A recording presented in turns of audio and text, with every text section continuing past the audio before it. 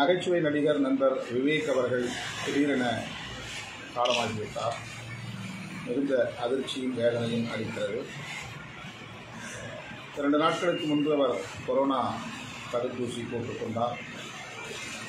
அதன் பின்னர் தான் இவ்வாறு மாரடைப்பு ஏற்பட்டது என்ற ஒரு தகவல் வெகுவாக பரவியது.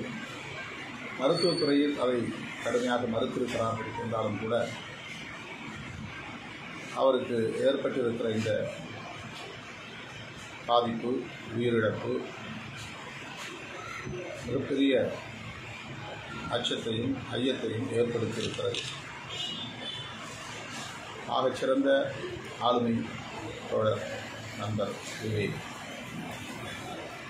நகைச்சுவை நகைச்சுவை நடிகராக மட்டுமின்றி அவர் சமூக அக்கறை உள்ளவராகவும் சுற்றுச்சூழல் பாதுகாக்கப்பட வேண்டும் மேம்படுத்தப்பட வேண்டும் என்பதில் தீவிரமான அக்கறை உள்ளவராக கடந்த காலங்களில் பணியாற்றியிருக்கிறார்.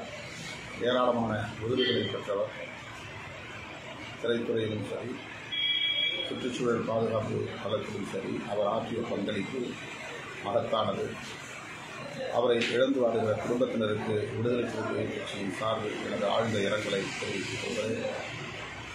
தடுப்பூசிக்கும் அவருடைய மரணத்திற்கும் எந்த தொடர்பும் இல்லை என்று அரசு தரப்பில் சொல்லப்பட்டிருக்கிறது என்றாலும் கூட மக்களிடையே எழுந்துள்ள இந்த அச்சத்தை போக்கும் வகையில் அதை மேலும் தெளிவாக்க வேண்டும் என்று நான் விடுதலை சிறுத்தைகள் கட்சியின் சார்பில் வேண்டுகொண்டிருக்கிறேன்